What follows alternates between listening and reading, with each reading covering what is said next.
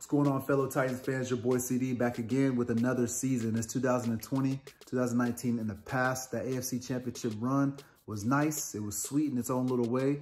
That loss did feel a little bit bitter, but we're back. Brand new season. Flip the page. New chapter. We're going forward with a squad this defense is nice, just signed Clowney. We'll get into those details a little bit later. I really just want to take a moment to apologize to you guys about the past season. I kind of went ghost there for a little bit due to work, some unexpected internet issues and technical difficulties or whatnot, but we won't get into it. I really wish I was there with you guys for the whole run. It would have been so special and so sweet, but doesn't matter. Again, new chapter, new season, season two, episode one coming to you guys first thing tomorrow. Just want to let you guys know that we're back.